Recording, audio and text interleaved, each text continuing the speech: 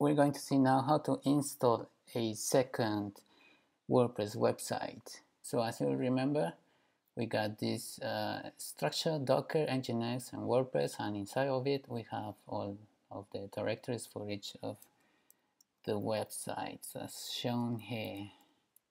So we have already deployed this one, and now we're going to de deploy a second one. And this folder it has been actually created by Docker in order to persist the data through volumes. We're going for the second one. And we're going to edit this .env file. So as always, this is um, by default, by default latest. And here, as you remember, we're going to set up the domain name dash db. Of course, it's however you want. Data DB learn WordPress.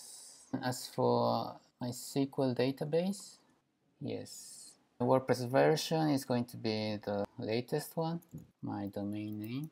And in the middle, I'm going to type my domain name. This is the way you can organize yourself. It's just personal preference.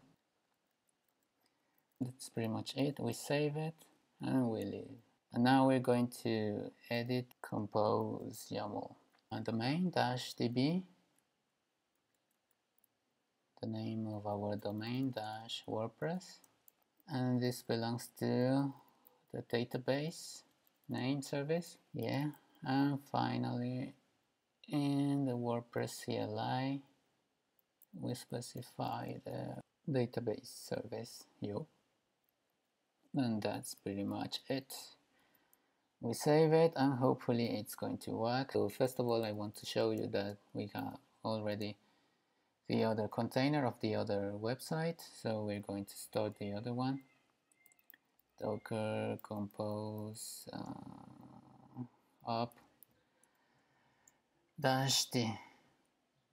So it's starting and we can check out the logs if you want to see what errors there are most recent 30 lines looks like everything is quite I don't know there's something wrong here but anyway let's try. It will work.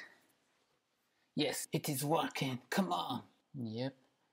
Installing WordPress. Success. And remember me